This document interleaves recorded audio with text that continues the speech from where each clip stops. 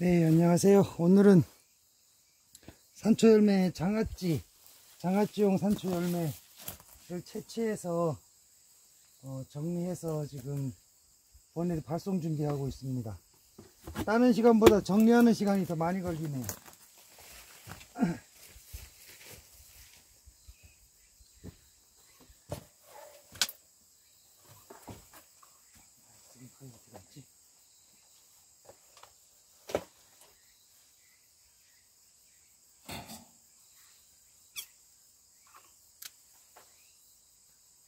어, 이렇게 산초 열매를 송이채 잘라와서 어, 최대한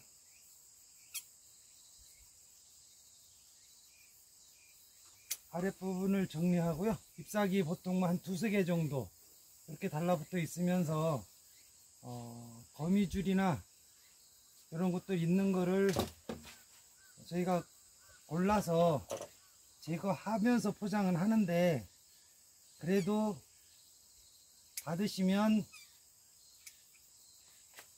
아, 조금 거미줄 같은 것들이라든가 이런 게 있을 거예요. 그런 것들은 좀 이해를 해 주시고요. 최대한 저희가 그 벌레 안 먹은 걸로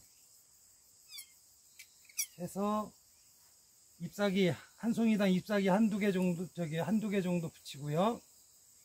그리고 이렇게 해서 보내드리고 잎사귀를 추가로 좀 보내드릴 거예요.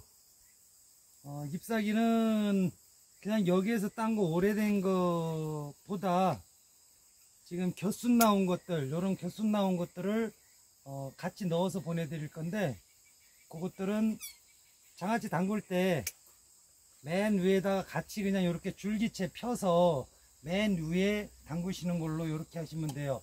요거는 어, 보내는 그 키로수에 포함은 안 시킵니다. 그냥 열매만 플러스하고 요거는 추가로 보내드리니까 그렇게 알고 계시면 되고요. 어, 이렇게 해서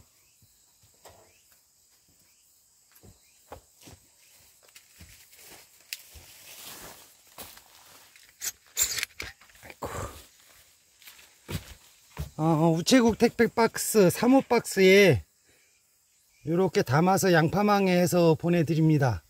어, 아까 말씀드렸다시피 이런 잎사귀 잎사귀를 위에다가 좀 넣어서 어, 그 건조하지 말라고 약간 습기를 해서 보내드릴 거니까요.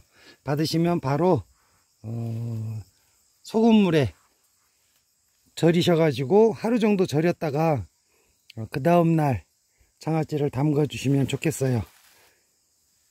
자 지금 오늘은 어, 산초 열매 장아찌 장아찌용 산초 열매 어, 택배 발송 중입니다